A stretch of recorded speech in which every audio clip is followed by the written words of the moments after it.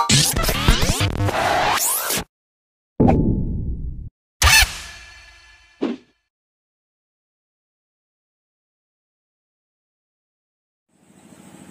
araw po sa lahat at welcome back po ulit sa aking channel. At sa tutorial po natin ngayon ay ituturo ko sa inyo kung paano ang pagsisetup ng Lilitech 7850A. Version 2 po ito. Ah, sa ngayon po ito lang po muna yung may share ko sa inyo. Ah, medyo, medyo busy po kasi marami lang po ang tinatapos. Naisingit ko lang po ito. Ah, ito po yung aking 168 setter at 168 na hatcher. Automatic po yan. Uh, naisingit ko lang po ito. Ito po ay i-deliver na mamaya sa malapit na LBC dito sa amin at ito po ay bound to Pangasinan. So, siningit ko lang po kasi matagal na po ako hindi nakakapag-upload ng tutorial sa ating munting channel.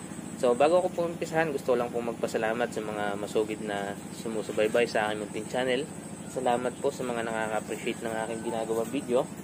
Kung di dahil po sa inyo, wala po song ipapadal sa akin si Google AdSense. So, ayan. Dumating na po ng isang araw. Uh, maraming maraming salamat po sa inyo lahat. So, balik na po tayo doon sa aking uh, pagsiset yung, kung paano po natin iset up ang ating Lilitech 7858. Version 2 po ito. Marami po kasing nagtatanong din sa akin, nag-BBM sa akin kung paano mag-set up. So, ito lang po muna yung masishare ko ngayon. Uh, nandyan na po yung ating panel box. Kung makikita nyo, uh, sa tabi po ng ating thermostat, yan po yung fuse. Tapos, ito po main power niya tapos ito po ang uh, sa light may built-in na po na ito na candle light tapos pag switch up po switch up doon naman po siya sa loob pag center switch off lang po siya so ayan may candler na rin po siya ayan tapat nyo lang yung itlog dito okay na po Ma makikita nyo kung may similya wala tapos uh, bali dito po sa ibabaw na to na uh, didismantle po yan, natatanggal po yan for troubleshooting purposes. Ganun din po sa likod. Ito po, ganun din po yan sa likod. Natatanggal din po yan. For troubleshooting purposes po yan. At kung mapapansin nyo nga po, konti, wala siyang manual switch. Toggle switch para sa manual kasi dito po sa thermostat natin, itong arrow up, uh, pag nilong press nyo yan, magra right swing po yung ating uh, egg turner pag nilong press nyo yung arrow down mag manual po siya ng swing papunta sa left side so ito na rin po yung pan center ng ating egg turner system. So papakita ko po sa inyo bago ko po uh, ituro yung mga ayan kung makikita nyo po naka center siya. So pa kita ko rin lang po sa inyo yung mga nilagay kong pyesa dito. Buhayin ko lang po muna yung ilaw. So ayan. Ang nilagay ko po dito na fan blower yung ating circulating fan ay 8 inch na Elco fan 5 watts lang po yan. Tapos yung 200 watts na kantal wire 42 egg setter so ito pinagsanip-sanip ko lang nilagyan ko siya ng 3 port by 3 port size by 1.8 3 port by 3 port by 1.8 na aluminum para isang hila na lang siyang ganun Ayan, 168 po. Bali, 4 na, 4 pieces na 42 capacity na egg tray. Yung ating hatcher, ano na rin po yan, na aluminum. Iwas kalawang po. So, ayan. Papakita ko lang po sa inyo yung uh, na, na ito na rin po yung kanyang manual.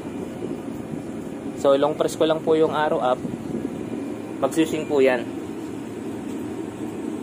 Ayan, smooth na smooth lang po kasi ito po ay chain operated. Tapos, long press ko lang po yung arrow down para ating ma-center. Yun po yung purpose nun. Kaya kung makikita nyo, wala na po siyang uh, manual na toggle switch. Kukunti po yung kanyang switches na nasa panel box. Ang ikinabit ko po dito motor ay 50 KTYC. Chain operated po yan. Kaya kayang-kaya naman po niya yung 168 na X. Easy easy lang po sa 50k TYC yan kapag chain operated. So ayan, doon na po tayo sa ating thermostat. So pag bumili naman po kayo nito, meron naman pong kasamang manual. So papaliwanag ko na rin kasi marami pong nalilito. Ah, unahin po natin yung pagsiset up ng ating temperature. So, para ma-set up po natin yung temperature, long press lang po muna natin si S. So, ayan, ang nakaset up po dyan is 37.5. 37.5 po, mamamatay po dyan si heater. So, kung gusto nyo bagdagan or bawasan, galawin nyo lang si arrow down at arrow up. Tapos, pindutin nyo lang po si P. Si P po, yan po yung kanyang ah, humidity. Ito yung, dito mag stop Kung meron kayong humidifier, once na nag-reach na si sa loob ng 60%, mamamatay si humidifier. Kung meron kayong humidifier. So, wala naman pong naka, ayun, nag-exit. Pag wala po kayo kasing ginagalaw dito ng at least 10 seconds, nagbabalik siya sa display. Ito nga po pala, dual display na to. Ito po yung kanyang humidity, ah, ito po yung temperature display niya. Itong nandito sa may kanan, makikita niyo may percent, yan yung kanyang humidity. So, ayan, balik muna po tayo dun sa settings na yon. Ang nilagay ko ay 37.5, long press lang po sa na po. Tapos, para makapunta po dun sa settings para sa humidity, 60. Gusto yung bawasan, gusto yung dagdagan, galawin nyo lang po si arrow down, arrow up. Para ma-save po, long press lang po natin si S. Ayan. Tapos, ah, punta naman po tayo sa general settings. Long press natin si P. Ayan. Doon po sa TO, ah, lalagay lang po lagi natin dyan is H. Dalawa lang naman po yung pamimilian, H or C. Yung H po is for heating, C is for cooling. So, dahil incubator ito, ang kailangan po natin ay for heating, lalagay po natin is H. Then, pindot lang po natin si P. Mapupunta tayo sa T1. Sa T1 po, ito po yung temperature hysteresis. Uh, kung maalala nyo, ang sinet natin is 37.5. Once na bumaba siya ng 0.5, so magiging 37.0. Pag naging 37.0, dyan na po mabubuhay si heater. Yun po yung kanyang temperature hysteresis. T1.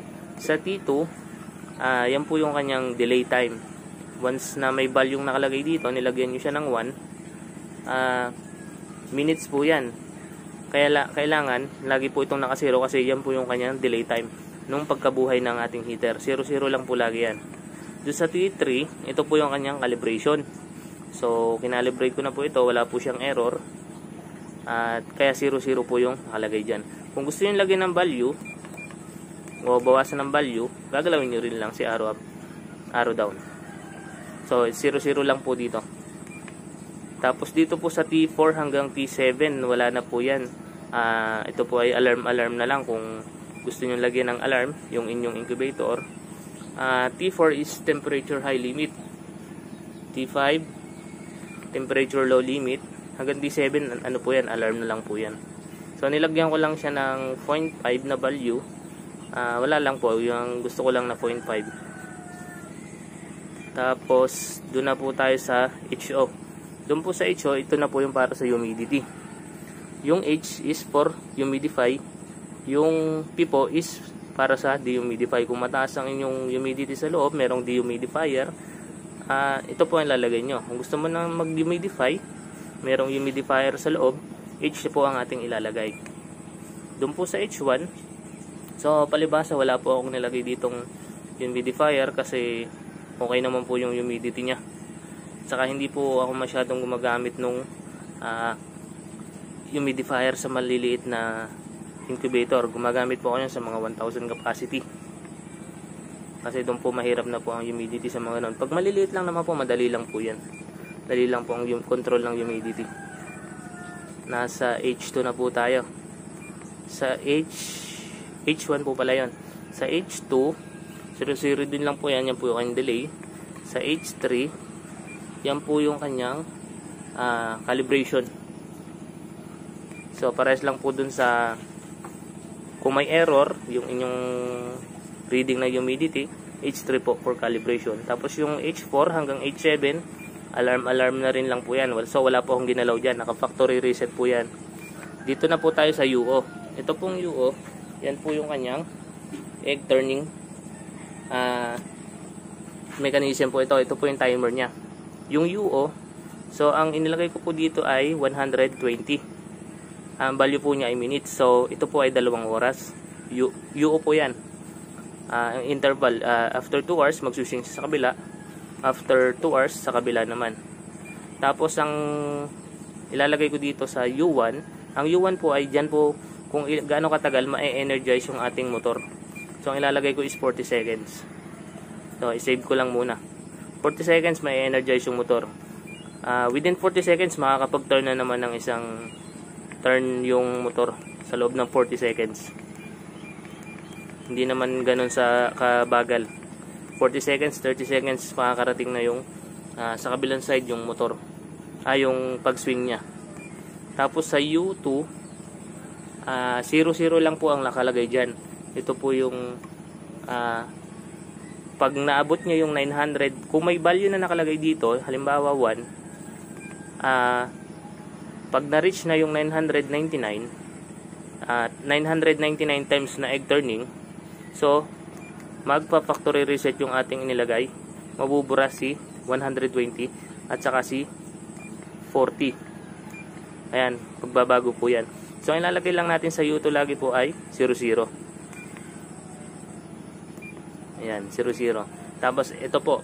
ah yung sa U3, ito na po yung sa exhaustion. Sa exhaust. Ayan. Ah marami pong nagkakamali kasi yung exhaust fan at circulating fan ah sorry, yung circulating fan dito nila ikinakabit.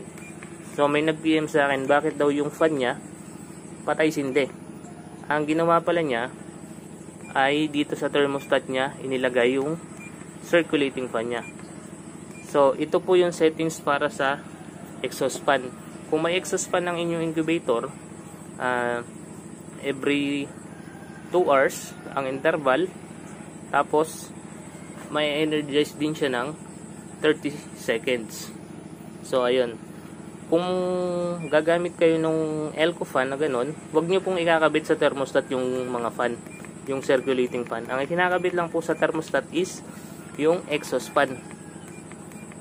Yan po yung, dyan po marami nagkamali nag-PM sa akin. Bakit yung fan nila hindi daw gumagana ang ginawa po kasi nila, yung fan, yung circulating fan nila, kinabit nila sa kinabit po nila sa thermostat. So, ang kinakabit lang po sa thermostat is yung exhaust fan. Pwede kayong gumamit ng 12 volts. Uh, pwede rin kayong gumamit ng 4x4 na fan blower kung malaki na po yung inyong incubator.